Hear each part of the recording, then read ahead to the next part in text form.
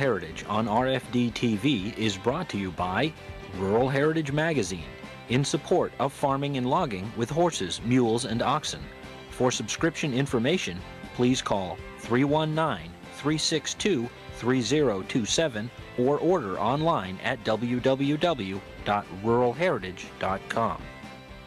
And now Rural Heritage presents Decorative Ironwork with Bryan Dale Headley.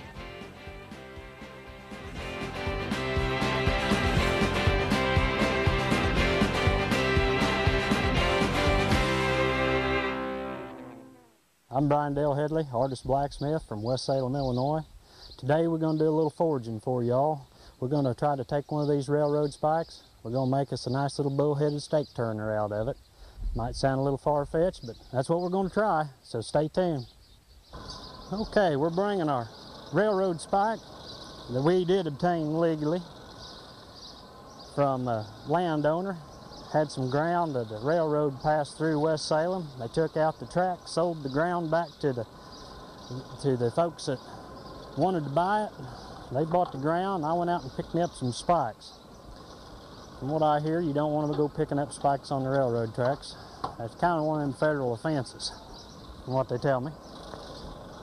So anyway, we're bringing our spike up here to a good forging heat because they're so thick, it does take a little time for them to get hot enough. First thing we're going to want to do is to determine exactly where we want our handle to stop and the shaft to start we want to draw out to make the working end of the turner. And we'll do that by coming out of the fire and going to the fuller.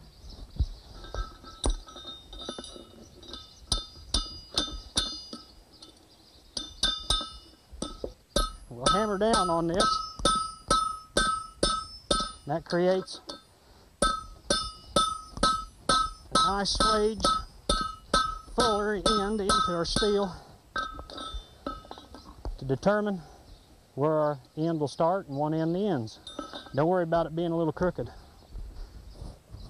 As you work metal, it's going to get crooked. That's part of blacksmithing. You work it crooked and then work it back straight again. And also, as we go through this demonstration, we want to keep our bucket of water handy for quenching our tongs. Because as you see, that old spike gets hot, then your tongs get hot. As your tongs get hot and you try to keep a good tight hold on your spike, or whatever iron you may be working, it's going to distort your tongs and it, it'll open them up and you can't get a good grip on what you're working on. And you always want to maintain a real good grip on what you're hammering because it'll bite you if you don't.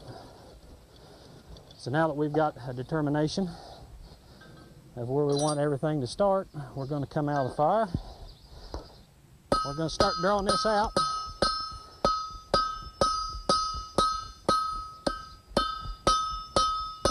I generally like to start it this way, just to kind of see how everything's going to shape up.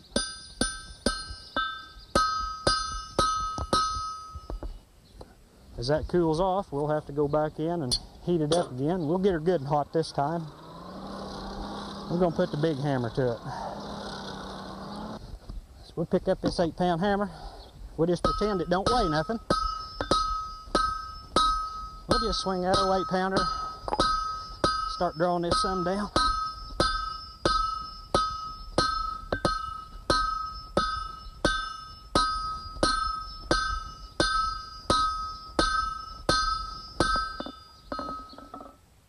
Okay. Want to make sure we quench our tongs because every heat we're going to try to do that.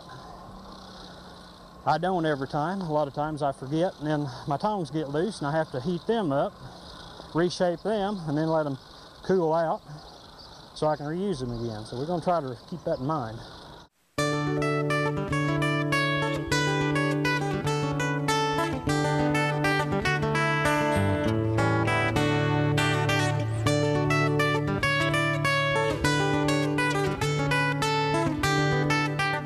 This program is available for purchase on DVD and VHS.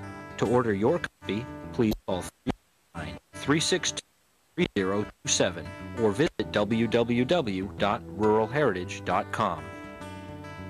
This program is made possible by your continued subscription to Rural Heritage Magazine, a bi-monthly journal featuring a wide array of articles to suit both the novice and expert teamster.